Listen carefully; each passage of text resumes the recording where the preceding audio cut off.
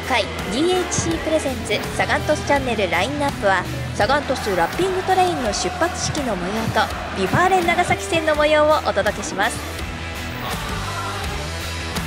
この番組は DHC の提供でお送りします。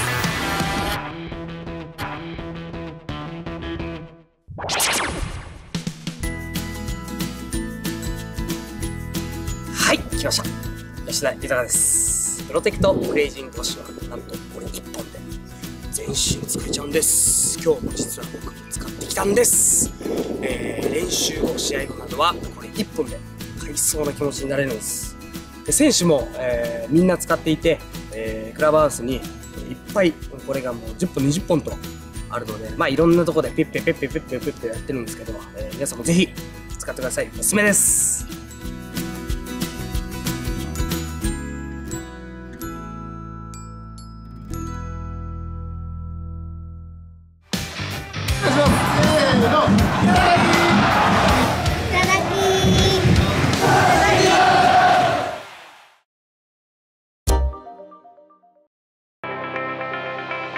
3月3日サガン鳥栖イレブンの写真をあしらったサガン鳥栖ラッピングトレインの出発式が博多駅で開催されました。当日はたくさんのサガン鳥栖サポーターが集まり大盛況でした。もちろんウィントスも出発式に駆けつけてくれました。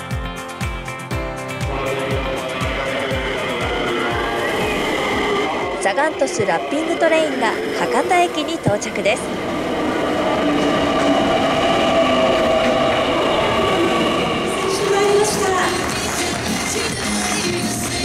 ウィントス車掌が安全にラッピングトレインを誘導します。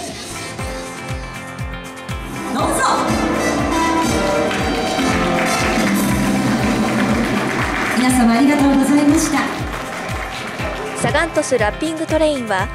885系特急かもめの全6両にチームカラーのブルーとピンクをベースカラーとしてエンブレムや全選手の写真などがデザインされています。JR の駅に最も近いベストアミニティスタジアム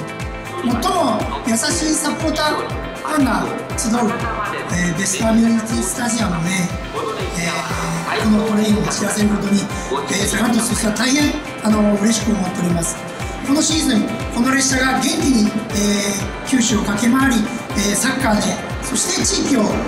各九州のクラブと盛り上げていきたいなというふうに思っておりますので今年1年ラッピングトレインを楽しんでください。そしてサッカーを楽しんでください。当日はサガン鳥栖サポーターサガンティーノのナンバー17とかけたかもめ17号が運行しました。サガン鳥栖ラッピングトレインは6両編成の特急かもめとして11月下旬まで博多長崎間を1日3往復運行します。もちろんベアスタのある JR 鳥栖駅にも停車します。皆さんもぜひサガン鳥栖ラッピングトレインに乗ってベアスタで応援しましょう。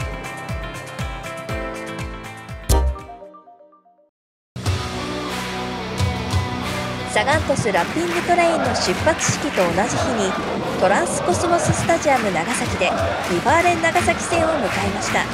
当日は雨にもかかわらずアウェーの地にたくさんのサガン鳥栖サポーターが集まりました。同じ九州 J1 チームの対決ともありいつも以上に気合十分です。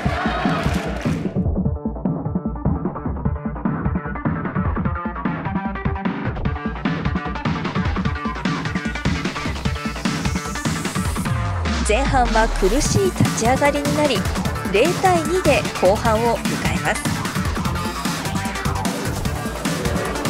ハーフタイムでは花火が上がりスタジアムはさらに盛り上がります。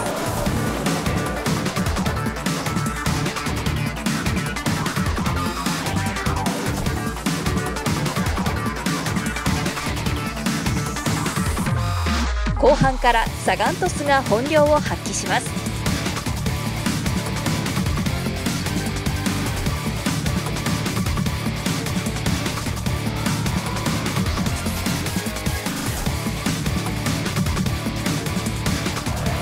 大激戦の末2対2の引き分けとなり勝ち点1を獲得しました。試合後も興奮が収まらず素晴らしい試合を見せた選手を迎えるためにサポーターが集まりました。皆さんもぜひスタジアムでサガン鳥栖を応援しましょう。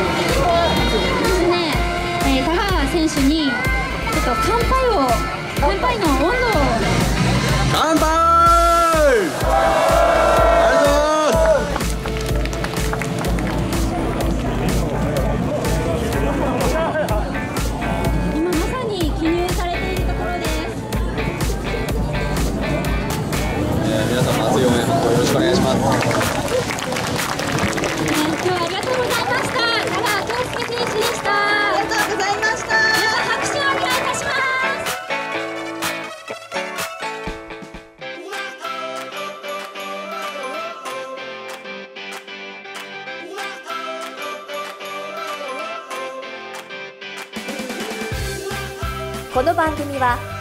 DHC の提供でお送りしました。